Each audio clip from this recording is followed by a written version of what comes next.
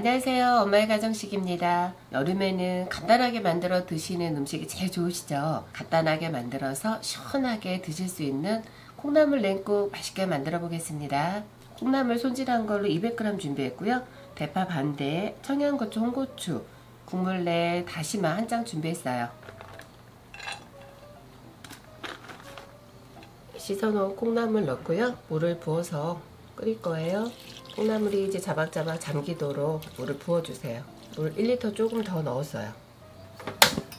여기 다시마 한 조각 같이 넣고요. 한 5분 정도만 처음부터 뚜껑 열고 끓일 겁니다. 혹시 이제 뚜껑을 닫고 끓이게 되면은 중간에 뚜껑을 절대 열면 안 돼요.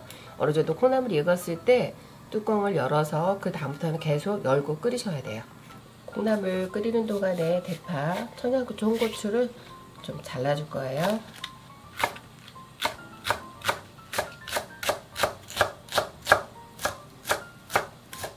대파는 반으로 가른 후에 좀 작게 이렇게 썰어주세요.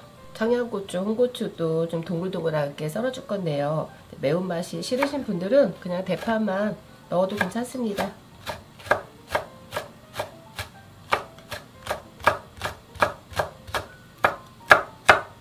남아있는 씨도 이렇게 살살 흔들어서 털어주세요. 콩나물 삶기 시작한 지 한 5분 지났어요. 먼저 다시마 건져주세요. 콩나물 간을 해줄 겁니다. 국간장, 소금 다 괜찮아요. 근데 저는 오늘은 참치액이에요. 참치액 한 스푼을 넣을 거예요. 그러면 조금 더 구수하고 맛있게 드실 수가 있어요.